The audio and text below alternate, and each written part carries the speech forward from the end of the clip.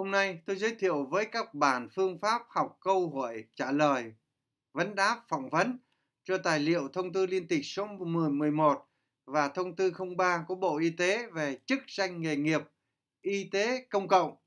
Thì thông qua cái tài liệu này học trên phần mềm như thế nào thì các tài liệu khác hoàn toàn tương tự. À, phần mềm hình thức trắc nghiệm.vn là phần mềm phi lợi nhuận à, hỗ trợ các bạn à, ôn câu hỏi phỏng vấn vấn đáp môn chuyên môn nghiệp vụ à, với các bạn à, dự tuyển viên chức y tế các bạn có nhu cầu kết nối Zalo với thầy giáo thạc sĩ Lê Văn Quang theo số điện thoại 0912 595654 hoặc 0943078123 để được hướng dẫn. Sau khi các bạn kết nối Zalo với thầy giáo, các bạn sẽ nhận được tin nhắn video bài giảng. Các bạn xem video bài giảng của thầy miễn phí. Hôm nay tôi giới thiệu với các bạn phương pháp học trên phần mềm hình thức trắc nghiệm.vn như sau các bạn khởi động trình duyệt trên máy tính của các bạn. Sau đó các bạn gõ vào thanh địa chỉ là http dấu hai chấm gạch chéo gạch chéo hình thức trắc nghiệm vn. Chú ý các bạn phải gõ thêm cái cụm từ giao thức để báo cho trình duyệt của các bạn biết là sử dụng giao thức http dấu hai chấm gạch chéo gạch chéo hình thức trắc nghiệm vn. Sau đó các bạn ấn enter thì nó à, lót dữ liệu lên. À, thì các bạn phải thấy à, cái màn hình à, như trên màn hình các bạn nhìn thấy là đúng trong trường hợp nó không đúng cái giao diện này là các bạn đã gõ sai tên phần mềm hoặc là sai cái cụm từ giao thức thì các bạn phải làm lại. À, trong trường hợp làm lại rồi mà vẫn không được thì trình duyệt trên máy tính của các bạn nó là nhớ sai rồi thì các bạn phải xóa lịch sử trình duyệt trên máy tính của các bạn. Sau đó các bạn shut down Windows các bạn tắt nguồn điện máy tính các bạn thao tác lại là được. Và lưu ý với các bạn máy tính kết nối nội bộ của cơ quan là không sử dụng được là vì là phải đã là máy tính kết nối nội bộ không cho phép truy cập các phần mềm khác. Vì vậy các bạn phải học trên máy tính cá nhân của các bạn thôi. À, sau đó xong các bạn di chuyển con trỏ xuống phía dưới. Các bạn sẽ tìm đến mục số 6 là câu hỏi vấn đáp phỏng vấn à, cho tham gia dự tuyển viên chức y tế. Số 7 là kiến thức chung ôn tập dự tuyển viên chức y tế. Các bạn có cái danh mật khẩu ở mục nào chỉ đăng nhập vào mục đó được thôi.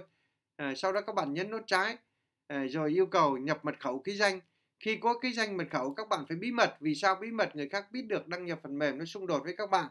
À, vì vậy các bạn phải bí mật. Vào trong phần mềm ấy thì các bạn thấy có rất nhiều tài liệu để các bạn học. Để các bạn học để có kiến thức vượt qua kỳ thi. Các bạn học để có kiến thức khi trung tuyển làm việc tốt hơn. Vì vậy các bạn có thể chọn các tài liệu liên quan đến à, đề cương. Có thể chọn thêm các tài liệu khác để đạt được mục đích kép.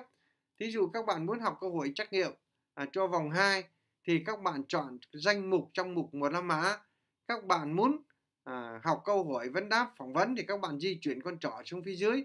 Các bạn thấy hai la mã là câu hỏi à, vấn đáp phỏng vấn. Thì phải học như thế nào để các bạn vượt qua được kỳ thi? Thì phải hiểu nội dung rồi có năng lực tư duy năng lực ứng dụng kiến thức vào thực tiễn là các bạn được làm tốt. Thầy giáo đánh giá rất cao về cái năng lực tư duy của các bạn học ngành y. À, vì vậy các bạn có thể học rất nhanh thôi. Đó thì thầy đã chuẩn bị sẵn nội dung câu hỏi nội dung trả lời rồi các bạn cứ thế mà học thôi. À, các bạn chọn cái tài liệu các bạn cần đó là kinh nghiệm dạy đại học thì giáo thấy rằng bạn nào học hiểu thương nội dung là các bạn qua môn rất tốt và ra trường làm việc rất tốt. Đó. Thí dụ như các bạn học về mã số chức danh nghề nghiệp y tế cộng đồng thì các bạn để con trỏ tại mục à, à, chức danh nghề nghiệp y tế cộng đồng các bạn nhấn nút trái một lần. Rồi sau đó các bạn chờ dữ liệu nó lót lên các bạn di chuyển con trỏ xuống các bạn thấy thực hiện đề thi rồi các bạn chọn uh, start là bắt đầu đó thì sau đó các bạn nhìn sang tay trái màn hình có chữ finish xem như các bạn hoàn thành nhấn nút trái vào finish à, rồi các bạn di chuyển con trỏ xuống phía dưới các bạn thấy nộp bài kết thúc thì các bạn nộp bài kết thúc thì như vậy là các bạn bắt đầu học bài thì các bạn đọc nội dung câu hỏi nội dung trả lời căn cứ vào đâu để giải quyết câu hỏi đó thì thầy giáo có trích dẫn rồi còn khi kỳ thi chính thức diễn ra thì các bạn có thể gì? À, không cần phải ghi trích dẫn. Đó đây là thầy giáo nói câu hỏi này thầy giáo trả lời cho các bạn hoàn toàn đúng. Vì sao đúng? Vì căn cứ vào điều 3 đó. thì nó có 6 tiêu chuẩn đạo đức nghề nghiệp của chức danh nghề nghiệp công cộng là đúng như trong điều 3 rồi. Rồi từng cái nội dung một là đúng rồi. Thì không cãi nhau được nữa làm gì đúng không? À, như vậy có nội dung câu hỏi rồi. Và thầy căn cứ vào đâu để phân giá câu hỏi cho đủ thời lượng của các bạn? Là căn cứ vào quy định các bạn bắt tham đề thì trong một cái đề có hai câu ba câu bốn câu nhiều nhất là bốn câu thôi thì ờ, thầy thấy ít nhất phải hai câu. À, thì thời thời gian trả lời được 30 phút và các bạn có thêm 15 phút để chuẩn bị. Như vậy các bạn các bạn bắt thăm được đề thì sau đó các bạn xuống các bạn chuẩn bị tối đa là có 15 phút. À, gọi là kỳ thi nó phải chính xác đấy. Thì các bạn phải căn giờ để các bạn chuẩn bị được hết. Ví dụ 4 câu 7 4 2 8 thì các bạn phải ờ, bình quân là 7 phút một câu đó thì các bạn phải tập ở nhà. À, thì các bạn trả lời. Đó, thì thầy cũng đã tính ra rồi các bạn chỉ đọc tài liệu không thì thầy các bạn chưa hình dung hỏi các bạn cái gì và đến bao nhiêu là vừa. À, vì là à, nội dung đề cương chẳng hạn là có 10 tài liệu. À, thì mỗi mỗi một tài liệu là à, nó xuất hiện một câu chẳng hạn. Đó thì ví dụ như thế. Thì các bạn đọc xong thì sau đó là giáo viên có thể hỏi thêm nhưng mà chỉ được hỏi trong nội dung câu hỏi thôi chứ không được hỏi ngoài. Thí dụ như các bạn à, hỏi về tiêu chuẩn đạo đức nghề nghiệp của y tế cộng đồng thì à, các bạn thấy là à, là có cái nội dung là hiểu biết về và thực hiện quy tắc ứng xử của viên chức ngành y. Thì các thầy giám thị có thể nhé à, ví dụ như thầy mà mà ấy thầy có thể hỏi bây giờ là cái cái tiêu chuẩn ờ, yêu cầu em là hiểu biết và thực hiện đúng quy tắc ứng xử của viên chức ngành y. Y tế. Bây giờ thầy, thầy thay cái nội dung này bằng cái nội dung là nắm vững hay là nắm chắc hay là hiểu rõ và thực hiện đúng quy tắc ứng xử của viên chức y tế thì có được không? Đó để là mình xoáy xem các em có hiểu được bài không mà.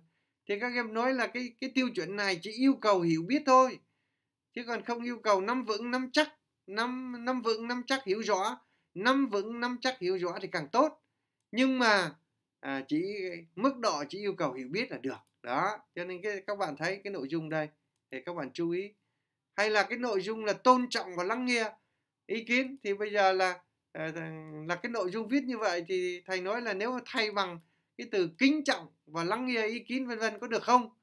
Thì bạn trả lời là là à, không được vì ở đây là tôn trọng chứ không phải là kính trọng. Kính trọng là dùng cho kính trên kính trên nhường dưới.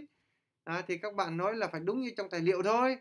Đó à, như vậy là có thể là nội dung trong câu hỏi có thể xoáy vào. Thì khi vấn đáp thì các em bình tĩnh các em trả lời. À, trên cơ sở tài liệu và nó phải đúng như trong tài liệu thì các bạn không có ngại gì hết. Thì các các các thầy cũng có hỏi là xoáy vào xoáy ra để cho à, xem em là nắm vững chưa nắm chắc chưa hiểu rõ chưa? Hay là em đã à, học thuộc cái em học thuộc là khi thay đổi đi cái là không biết ngay. Gọi là để tránh cái trường hợp thuộc gạo mà. Thì người người ta nói là ờ, là là, là tận tụy thì nói là bây giờ thầy thay bằng nhiệt tình có được không? Đó cho nên cái câu chữ nó quan trọng lắm. Đấy cho nên các em phải chú ý. À, các em muốn học lại cái mục này hoặc học cái mục khác các em kích chuột mục hai la mã này à, lại quay lại cái mục cũ. Như vậy trên phần mềm thầy chuẩn bị sẵn rồi chỉ có việc học thôi. Ờ, nó tiết kiệm thời gian cho các bạn. Để các bạn muốn thoát ra khỏi phần mềm các bạn nhìn những góc phải trên cùng màn hình có cái hình người này. Các bạn nhấn nút trái một lần sau đó các bạn chọn chữ thoát. Là để thoát ra khỏi phần mềm để bảo mật cái mật khẩu của mình.